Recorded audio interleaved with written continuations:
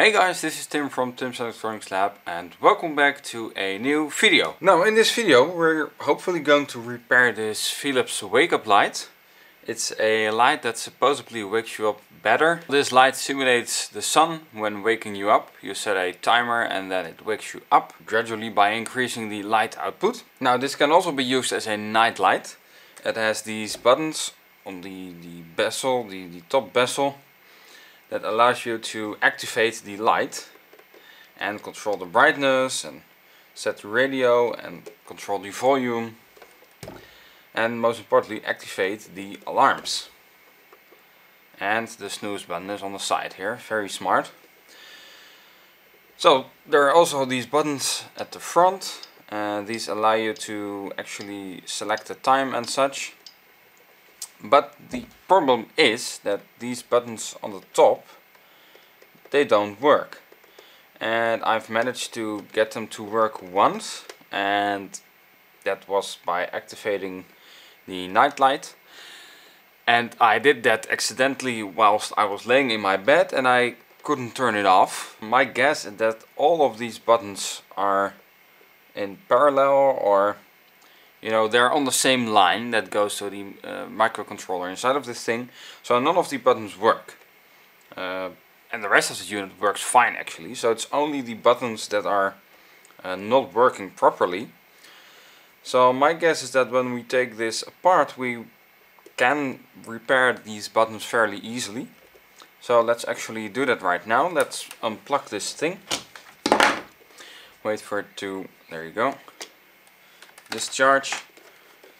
Now, as far as I can see, there's a single screw over here that we need to undo and then we should be able to open everything up. I'm not sure. what was that? I'm not sure, so let's unscrew that screw and let's see what we get. So just a regular Phillips screw no pun intended. So this unit was thrown away and I managed to save it. Well, actually my girlfriend managed to save it. So does this come off now? Yeah, it does. There we go. I do see programming headers for the actual microcontrollers. I can see the I2C lines, I can see the voltage lines and they're kindly uh, enough they've labeled them all so that's really, really useful. And I can also see the buzzer that's below this thing. Alright, so, oh, there's a screw inside of this thing over here. So let's remove that. My trusty old rubber screwdriver is broken. I'll need to use this one. I'm guessing that this has to come out somehow, one way or another. Like so. Oh, there you go. Oh, screws.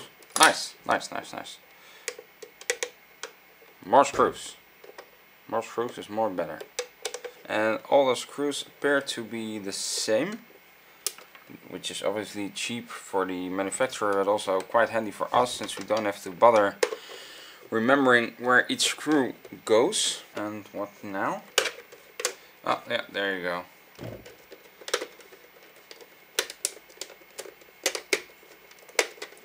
Here we go. So that's the, the button uh, bezel. Oh no, they're using these really tiny buttons. Well that's unfortunate. Let's actually proceed by removing all the other screws.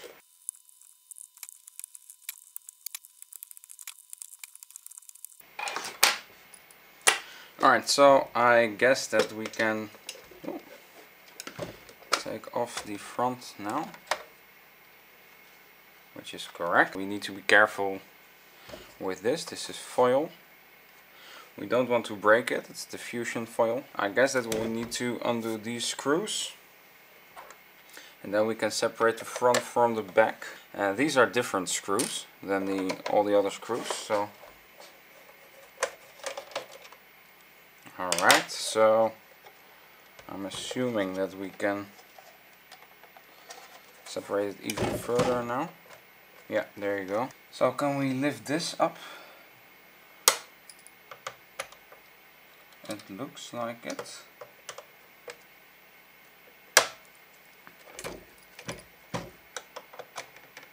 Because we really do need to get to the actual wiring of the buttons. So it looks like we can separate this by doing that. There you go. Whoa! Check out the heatsink they've used. That's really big. I wasn't expecting that to be in here. Sorry for the camera angle. There's a plug inside of here. And we need to disconnect. That worked. It worked wonderfully actually. And then there's another plug and I'm not sure where that goes to. This plug slides in from the side. Sorry, I'm not able to get this on camera. It's actually quite hard to do this. There you go. So this plug plugs in from the side and then you can remove the light module. Oh, there are clips that we need to remove. So you can see the clip over here. I'm just going to try and push down on it. I don't think that that will work. Oh, we can see the wiring of the buttons. There are three connectors, two connectors, two going to the wiring, and one over there, and one over there. So I'm going, they're both not working.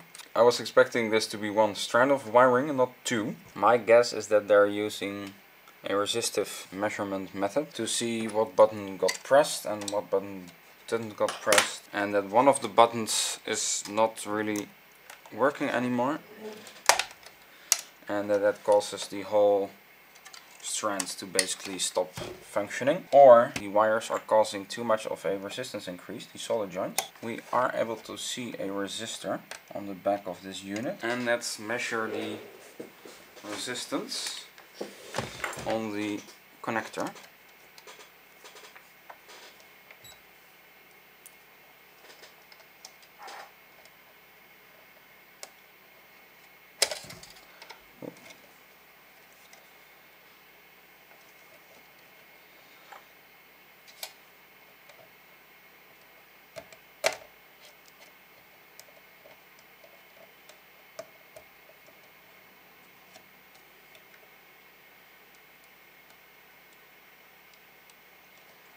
So there shown nothing. I need to insert something into so zero ohms or actually open circuit not zero ohms. And let's try and get the multimeter to attach to it. So this is working. I can see that the multimeter changes its reading when we press a button. Alright so let's do the same trick for the other button set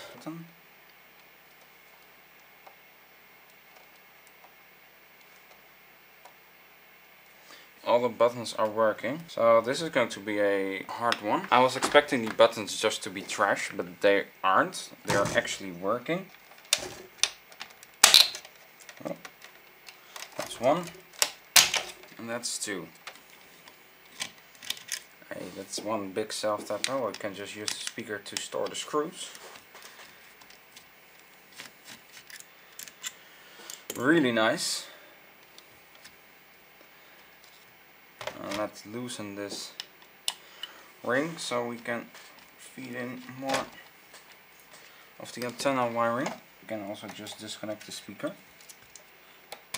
There you go. Alright, so this board is responsible for the buttons and I can already see something ugly over here. There's a capacitor that's on the verge of getting disconnected. Yeah, I think I can already see a cold solder joint. Well, that's the main disadvantage of using a resistive button um, push detection method, however you want to call it. When something goes out of spec, even the slightest bit, it could be that nothing is working all of a sudden. So let's proceed by removing these screws. So this capacitor is part of the circuitry I think that's my best bet just to reflow some of the components that are over there and then try again. Yeah, so let's just desolder this, or resolder this thing. I think I'll be using hot air. There you go. Let's set it at 370, which is perfect. A little bit less air.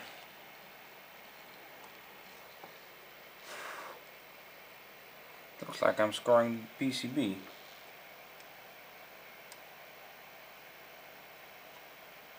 Which is quite interesting.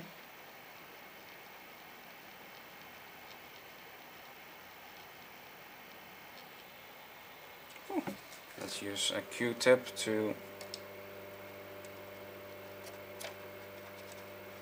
clean some of the garbage off. Yeah, we've got a disconnected capacitor. This capacitor is loose.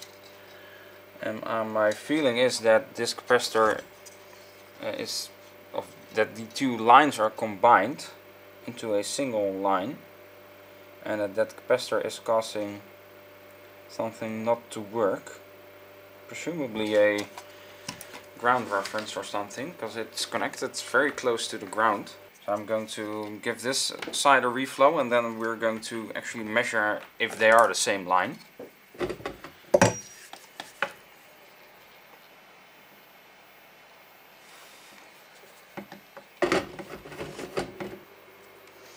So now let's measure the continuity between both sides. So this side and this side.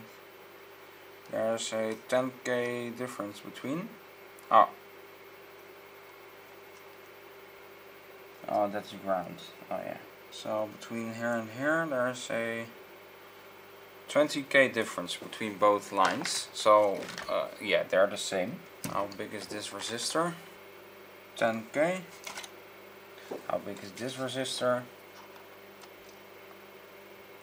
10k. So from here to here. Yeah. There you go. Bingo. Found it. It's the same line, it's confirmed. So this via goes to the other side of this resistor and we only need to find where that goes to right now and then we presumably have entrance of the through this resistor into the microcontroller. So this resistor is part of the measurement circuitry and that's 10k. I actually want to know what happens if we push a button because that should result in a measurement change.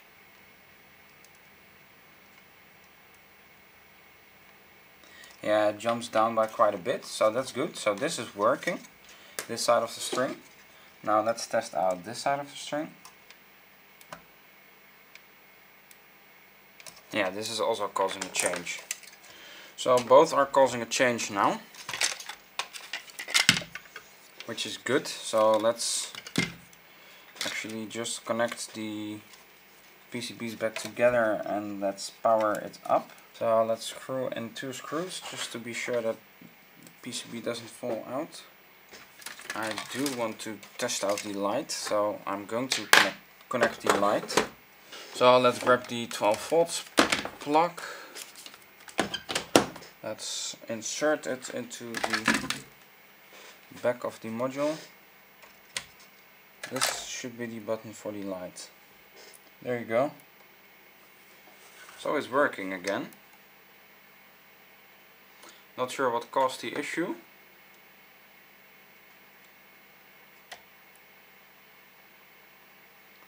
But as you're able to see, the light is working. So let's actually unplug it before we cause any damage. There we go. So, wow, that's wonderful news actually. So let's put this thing back together and we'll see if it still works. So these are self-tappers, so just be careful when inserting them.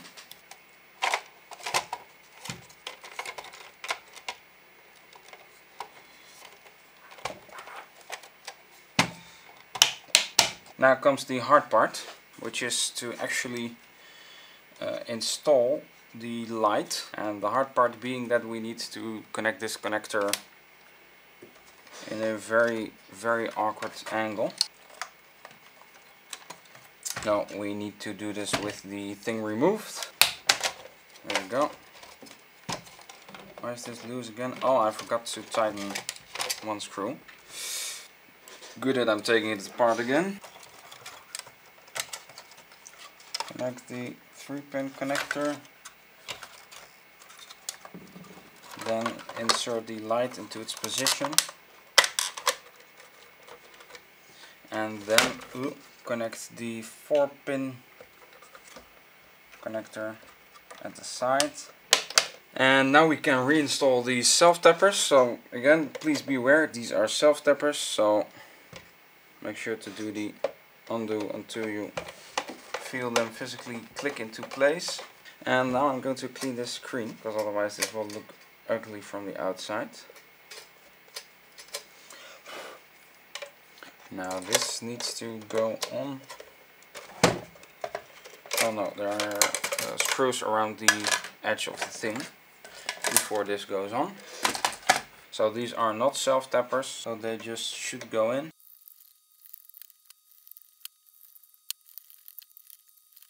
So let's install the bezel. Let's do it the correct way, obviously. Now let's install the two screws that belong in here. Oh no, I needed to install the front cover before installing all these screws. There you go, that's better. That's the front installed. Now let's install this ring again. And let's tighten these screws.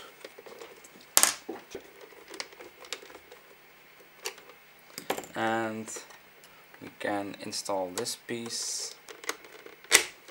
There you go. And finally we can install the label and screw that in place. And we should have a working light. What time is it? It's 1304 if we press the light button there you go. Even the radio is working so guys, thanks a lot for watching this video. I hope you find this video useful. If you did, please don't forget to leave me a big thumbs up. And please let me know in the comments down below if you've fixed your own uh, wake up light.